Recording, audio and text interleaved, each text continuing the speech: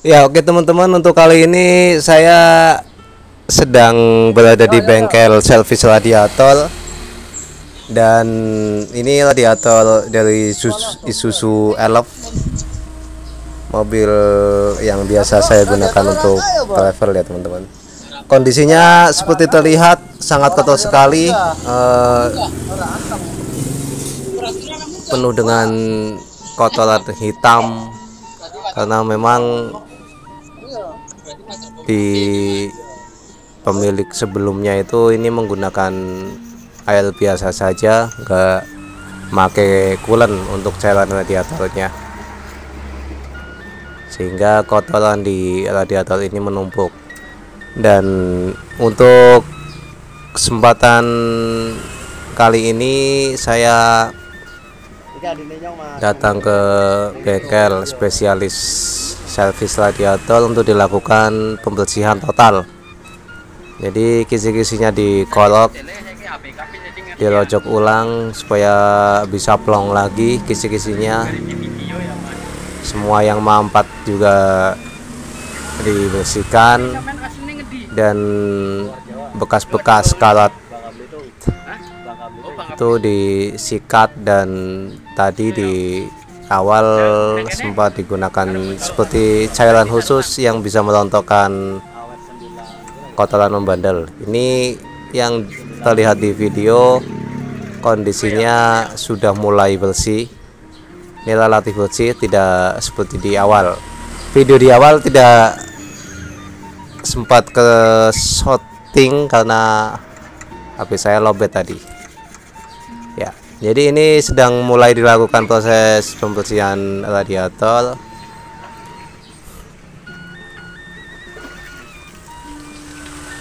Kotor sekali ya teman-teman. Terlihat seperti di video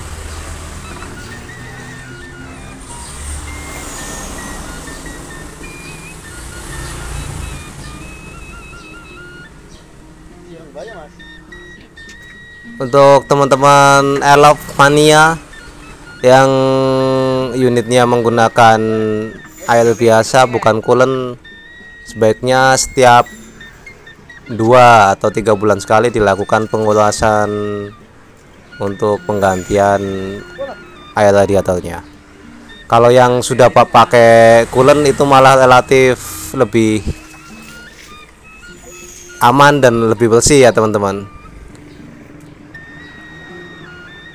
kalau yang pakai coolant itu nggak akan kejadian seperti ini.